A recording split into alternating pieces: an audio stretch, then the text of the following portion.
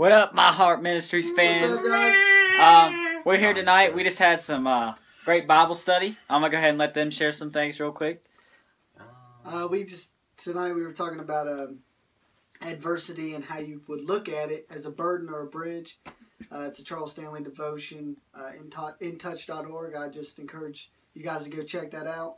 Uh, it's a very deep subject, and it uh, basically it just talks about how we all go through adversity, different kinds of adversity, and it doesn't play favorites. It just kind of goes with everybody. So we just wanted to share that and talk about that, and we uh, come to some conclusions about what to do in that situation. Um, so I encourage y'all to go to that site.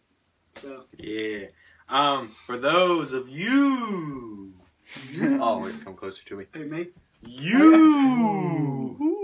uh, who are a part of Elkins now tomorrow, um, we're gonna be doing something a little different. Um, it's kind of my testimony mixed in with a bit of talking and a little bit of scripture, and Dylan's gonna elaborate some stuff too. So, um, and it's just it really hit me tonight. Um, you know, hanging out with you brothers is and getting into the Word of God and just letting the Spirit roll with whatever He wants to is uh, it's great. It's a good way to um, just kind of reflect. Like we had like an hour long conversation, you know, because you just you just you just keep going, you just keep rolling, you know. Absolutely. So it's good stuff. But yeah, that's all I have. So Elkins now, um, seven thirty tomorrow morning.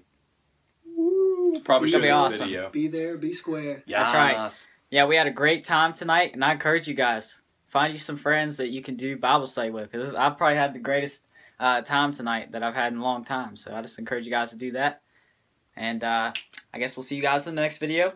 Have a great week, and God bless you. Well, guys, we hope you enjoyed the video. For more information, you can go to our website at myheartministries.weebly.com. There you will also find other video devotions, audio devotions, and our prayer page. If you have any prayer needs, we would love to pray for you.